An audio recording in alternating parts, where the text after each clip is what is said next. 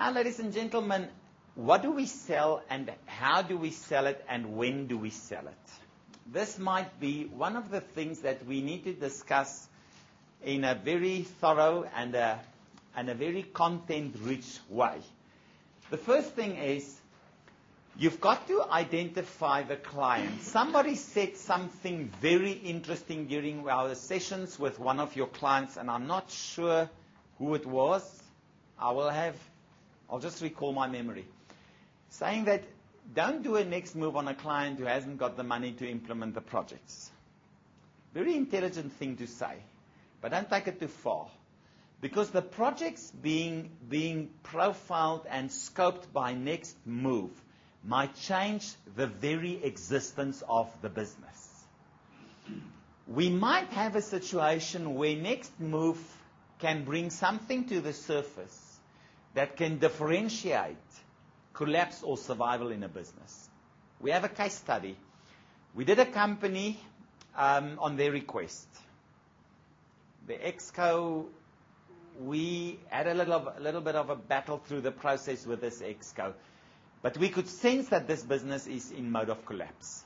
The way they answered the questions, and they then started to sort of fix the questions. And we said, guys, whoa, the, value of the report sits to a large extent in your honesty. Now, it's not so easy to, to work around it because the, the system catches you out. So what happened is at the end, the report said this business is in collapse.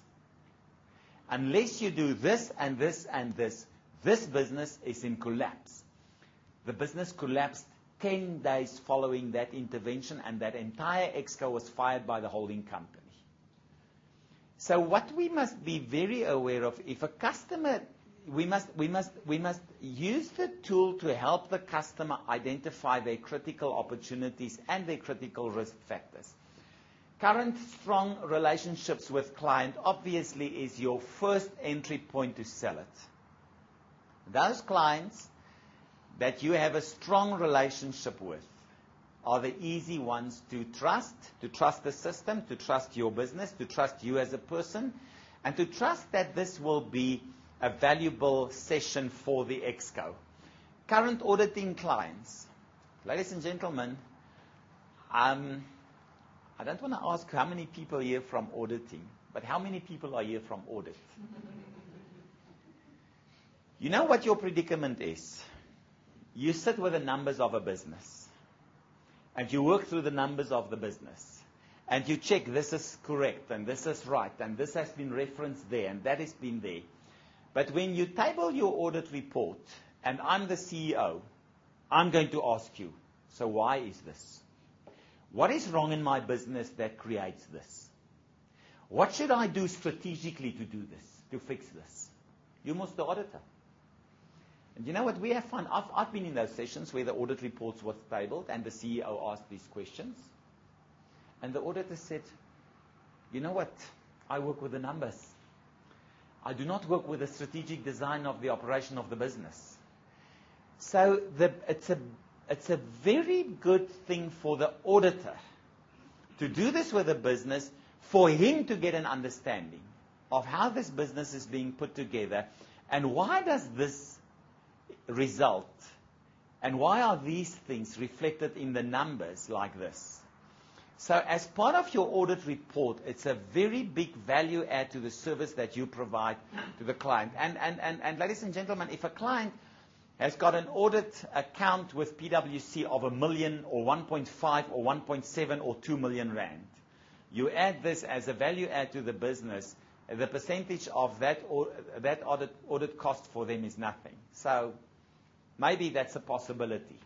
Current advisory clients, we as consultants don't do anything unless we do a next move. If you ask us as consultants to come and wash your cars, we say, we do a next move first. That's it.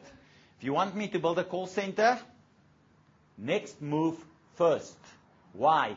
Because I want to know what's going on in your business, whether I can expect the IT guys to incorporate voice recognition, to incorporate the, the, the, the voice data system and the account system with a CLI into your data. If they don't have it, then I'm wasting my time to build a proper call center for them.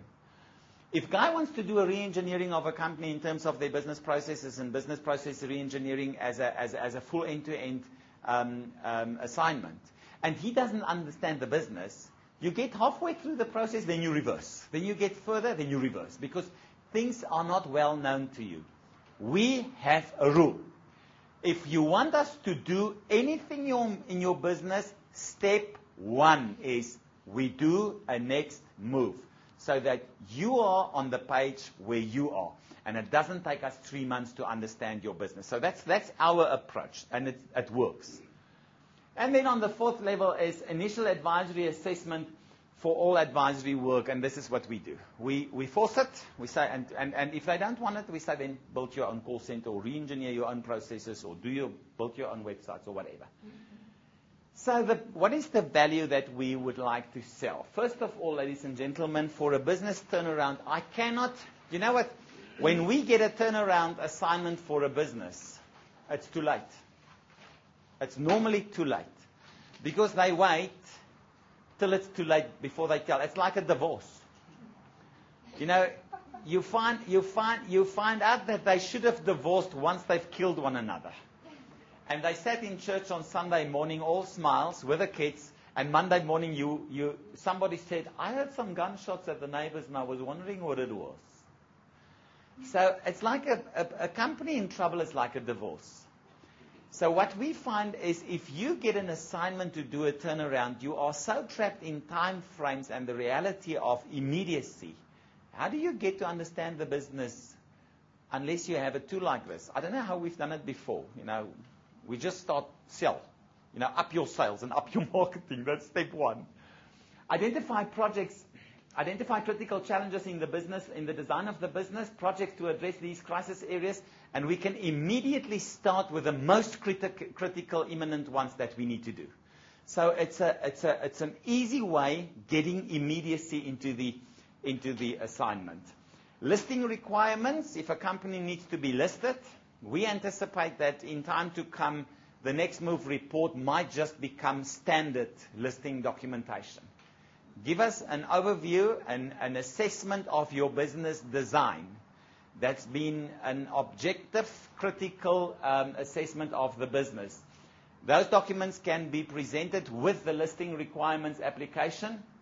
We can implement key next move projects prior to listing. If you, if a, if a company must be listed and they've got no operational framework in place for governance, can't list it can't list it. You've got to bring that governance profile of the business in line. You've got to get it at least in the positive.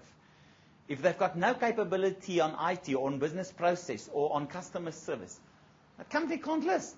It's not a properly well-designed business. You put the, the, the investor at risk.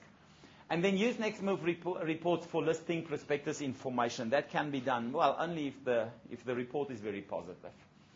Due diligence, when companies merge, when, there's a takeover, and they want to know what is the comparison between the two businesses, we do a next move on both of them, and it immediately identifies the critical strengths and weaknesses in both areas of the business. So you can compare companies to determine the shared strengths, identify which factors to keep in the post-takeover phase from which company, and then also provide all interested parties with a business design assessment to determine, and calculate possible business value. Then on a business assessment, just from the point of understanding the design of your business, I wrote an article for our website and possible publication in a magazine on what should an exco know about their business. Ladies and gentlemen, it's from time to time we get a shock that an exco, they don't know their business. They don't know what's going on. They don't know what is the operational reality, what are the operational realities of their business on a ground, on a, on a functional, on a ground, uh, grassroots level. So sometimes we get an assignment where the exco says, we want to see if all the design factors of a properly designed business are in place. We do it easy. We do a next move and we've got everything out. Provide the business leaders with an in-depth assessment of the design of their business.